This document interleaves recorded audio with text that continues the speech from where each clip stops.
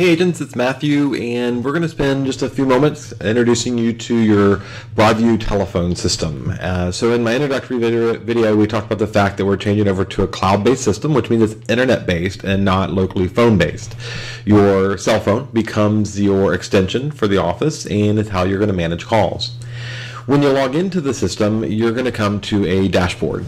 And this dashboard shows you at a glance what's going on with your office phone. And don't expect to have to jump in here every single day, but if you want to make changes or manage your calls, this is a good place to start.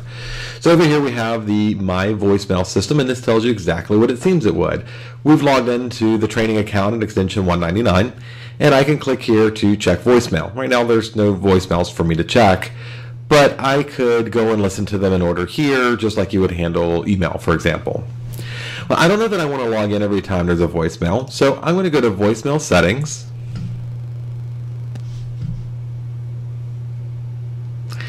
And once I've logged into voicemail settings, I'm going to click on enable voicemail notification. And in this case, I'd like to get, and I can set up multiple email addresses if I wish. If I was on a team or I had an assistant, I could have them forwarded there. And I'm going to have those sent to training at coldwellbankerelite.com. And I want um, the audio file. And I, you can choose to delete off the voicemail system. I wouldn't. I would leave them there in case you ever want to go back or gather them. I would leave them there. Um, and then don't worry about these things down here. You can direct uh, calls if you wanted to. If it's ringing, you see a number, you can send it to somebody else. That's a more advanced thing that we'll do at some other time. Make sure that your uh, time zone is set to Eastern, and then go ahead and hit save here.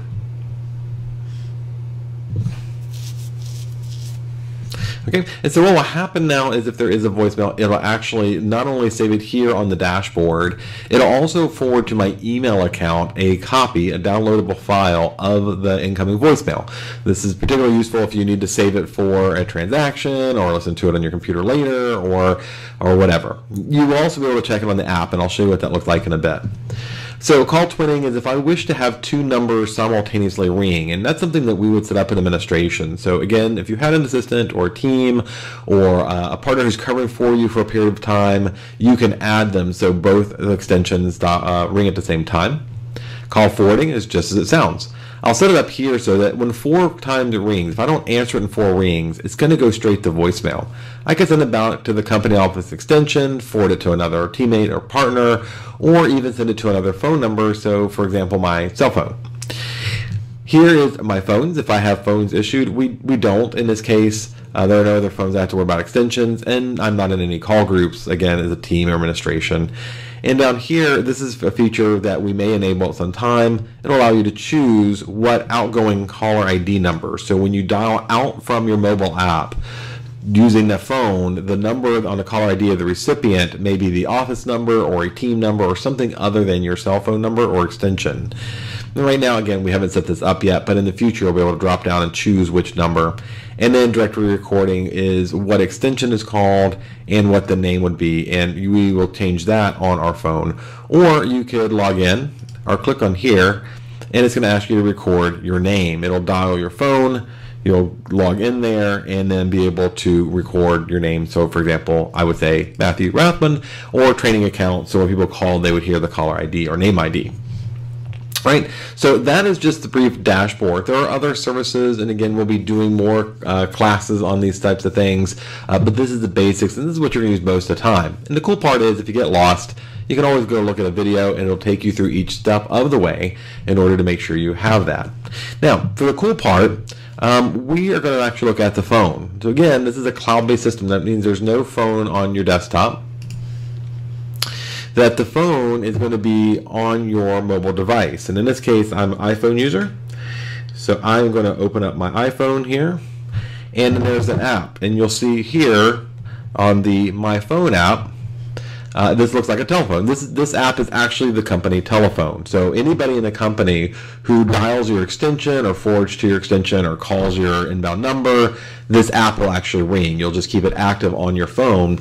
And one of the cool parts about this is your phone will be connected to the Wi-Fi um, in the office, so that you're not using data, you're not using cellular service, but you have a nice solid tone. So some of our offices you have bad reception. There's not good towers around the offices, so you'll be able to connect to the Wi-Fi in the office and still walk around with your cell phone, and everything's with you all the time. Again, this phone is it always works. Whether you're in or out of the office it'll be your extension that you can manage as you would a call. So in this case i'm going to take an incoming call and you can see i'm getting a phone call from the system. I'm going to hit accept. My app opens up and i have some options here.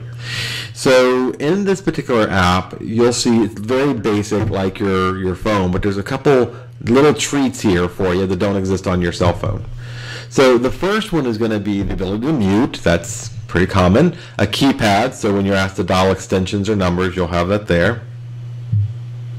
Oops. You have a speakerphone. You have the ability to put somebody on hold. You can add another call, so you can dial out and conference call in. And under more, you'll see this comes up for a number of features. Navigate back takes you back to the screen. And then here's a new one for you. Start recording. In the Commonwealth of Virginia, you are permitted to record a conversation in which you're involved in. So if you were... Um, uh, listening to other people talk, you can't record their conversation without consent.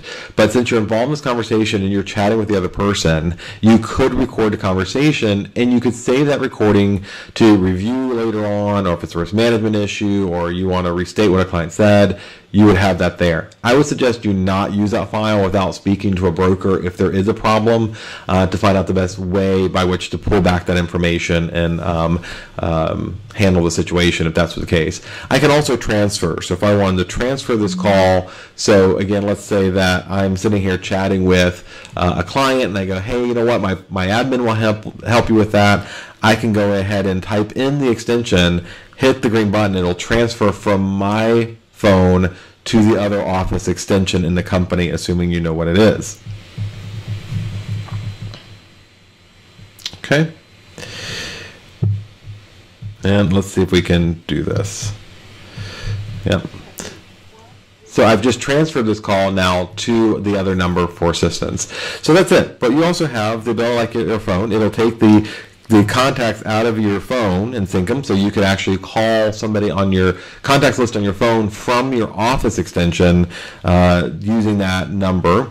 And then you have your history of calls that are incoming and missed and then over here your settings. And again it's pretty simple. There's not a lot of settings for you to manage but if you do go into the system you can choose different uh, options here look at history and then there's one here again that says auto record calls. You could actually set that um, to yes. Don't know that I recommend it, but you could set it yes, and it'll just automatically record every phone call that you're on, and then you can go back to your dashboard and then manage your call recorded calls here and delete them or save them um, for future use. So again, um, your video calls can come in and you could use video services. It'll adjust. Uh, do make sure you have auto login there so that when you open up the app, you don't have to log in with your username and password. It's simply running in the background. I've tested this. It does not take a lot of your data. Actually takes hardly any data at all until you're using the app. And then it uses a normal amount of data on your plans. If you're connected in the office to the Wi-Fi, there's no use of your data or your cellular service. So that's probably the best practice to have. So that's it that's your phone. And so now you will be able to uh, manage your incoming office calls, transfer and receive um, uh, uh, while you're in or out of the office on your mobile device and not manage two phones or even really necessarily two voicemail boxes because again, it's all on your mobile device. So we'll be doing more training. We'll have some classroom sessions, some hands-on stuff. So if you have any questions, feel free to let us know. Thanks for your time.